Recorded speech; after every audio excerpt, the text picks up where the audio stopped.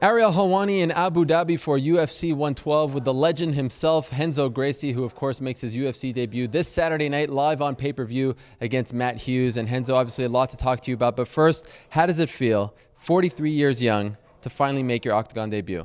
It's like I, I was waiting for this day, you know. I was, I knew this was gonna happen. If I didn't die, I would be here, you know. So here I am, in good shape, good health, and ready to go and in Abu Dhabi, the first ever outdoor UFC event. A lot of people are saying that you're the man who is instrumental in putting this whole thing together. It must be pretty special because you've come here a lot. You've been here for the last few years training with the Sheik. Yeah, it's been I've been coming here for the past 14 years. Just last year alone, I was here 11 times, and uh, it's an unbelievable country, unbelievable people, unbelievable food. It's you know, a very magical place. And to have the opportunity to be part of this, you know, even though a lot of people say that I have a lot to do with this, I think uh, with the entrepreneurs like Dana White and the Fertitas, everything becomes easy. You know, they have a great product. I do believe this is the best product out there, best sport, most entertainment, most the one that calls you call, call, calls the attention of people most, and it's easy to sell. You know, it's like selling jiu-jitsu. It's the most easy, it's the easiest thing to sell in life is jiu-jitsu and UFC. oh, very well said. You know, there are a lot of misconceptions about Abu Dhabi. You've been here a lot. You spent a lot of time here. Tell the people at home what is this country like? Because it's sort of this mysterious place in the Middle East. Americans should be coming here more. You know, for you to have an idea, every time I'm here, they do think I'm an American because of my accent. They don't realize that I'm a Brazilian trying to speak English. You know, it's because they're not used to Americans come down here. Mostly Europeans, uh, people from England. And Americans should, Australia, people from America should come down here. It's one of the best paradise I have ever seen. The prices here are very moderate. Like it's, you can have the dream vacation in paradise. Crime here doesn't exist, you know. It's a very magical place where Americans should have made their final destination for vacations too. This is a special event, first outdoor UFC event. Uh, you fought outdoors before. Is that different in terms of preparation and, and, and, on fight night? Anything different you have to deal with? You see, there's no difference in terms of training or nothing like that. And uh, once the fight starts, nothing bothers you, not even the groin cup that you use.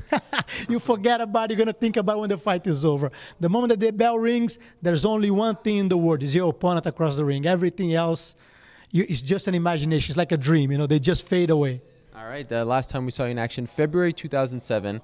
The fight kind of ended in a weird fashion. You and Frank Shamrock. Did you ever think you would fight again, or at that time, did you maybe think that that would be the end of your career? No, I, I knew I was gonna fight again. You know, it's uh, there's no way that a career like mine I'm gonna end up with a bad uh, with a bad closing. You know, I will have a lot of good moments, even if I if it happens of me losing, I'm gonna show how a Gracie lose. You know, yes. so that's the big difference. I'm here to fight. And I know that the moment that I walk out of that ring, I'll be a much better man, a much better fighter, a much better instructor. You know, I'm going to be able to teach the future generations everything that I learned inside that ring on Saturday night. And let's be clear, this is not one and done for you. You're, you're planning on sticking around for a while here in the UFC, right? My friend, take a look at this. Look at that. You see, I didn't get like this to do one job. Can I touch? Can I rub? Of course. Wow, that is. It's gonna bring you luck. You it's a, like the Buddha. So, yeah. so it's not one and done. No, it's not. I was able to get rid of 35 pounds on the past uh, five months. You know, just training. I didn't have to diet much. I'm right now uh, 174 pounds, so I'm four pounds above weight from Saturday. I have two days to lose those four pounds. I may be able to even wait in with on my with my clothes on. You know but I'm for sure I'm not. I'm training for the long run. Even though I had a short window to train, I trained just for six months, and I'm looking actually to reach my peak next year on 2011. So I'm pushing this forward to fight a lot this year and next year. So if I do a good show, you guys are going to be seeing me soon for sure. Well, we look forward to that. All right. So, but is it possible that this could be one in uh, 170 pounds, and then you're going down to 155 because you've had such a easy time cutting the weight? Definitely, I can reach 155 at any time the good thing, I'm like a wild card. I can play from 155 to Brock Lesnar. Oh, really? You know, yes, I'm gonna go in there to pound on his head that he should be drinking Bud Light instead of Coors Light. You know, so anything is possible. But then if Frankie wins the title, right, which I'm sure you're expecting on Saturday, then you're not going to challenge him for the title if you go down to 155. Definitely not. Definitely not. I'm just joking. He's a yeah. giant. Like, you know, one of his legs is my weight. You know, he's a he's a gentle giant, very special guy, and we need him in the sport. The reality is we need guys like him to promote and push the sport forward. You know, it's a, it's a great champion. Any one of those two guys, I'll be sitting down there and watching to admire them. All right, let's quickly talk about your fight. Uh, Matt Hughes, obviously a legend in the sport. Is this one personal for you because he beat your cousin Royce at UFC 60? Every time is personal. It's personal to me because uh, anybody who, who I'm fighting with, it, we're gonna get personal. You can't get closer than that, you know.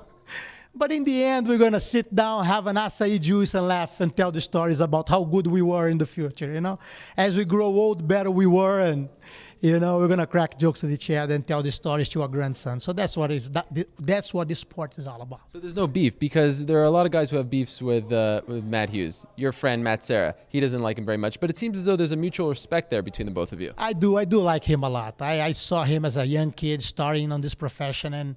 I saw him from a, a, very good wrestler to become an unbelievable MMA fighter, you know. So uh, I have n- nothing for him but admiration, you know. What's the key to defeating him?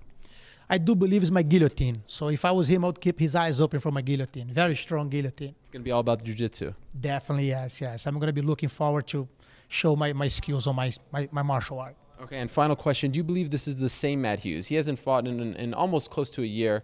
Um, some say that Matt Serra deserved to beat him at UFC 98. Do you think you will see the same Matt Hughes, the dominant Matt Hughes, who was uh, such a dominant champion for so many years? I do hope to fight uh, him at his best. You know, I'm not. Uh, you have to understand that a sprinter never runs against his opponents. He runs against the clock. He runs against himself. He always tries to improve himself. That's the same thing in our sport.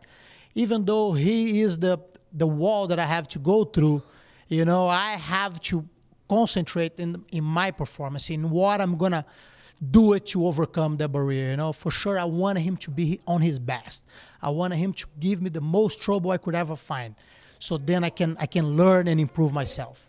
All right, Renzo. Well, it is an honor to speak to you here That's in Abu Dhabi, pleasure, and uh, nice best of luck. Here, best of luck to you Saturday. All the best to you guys.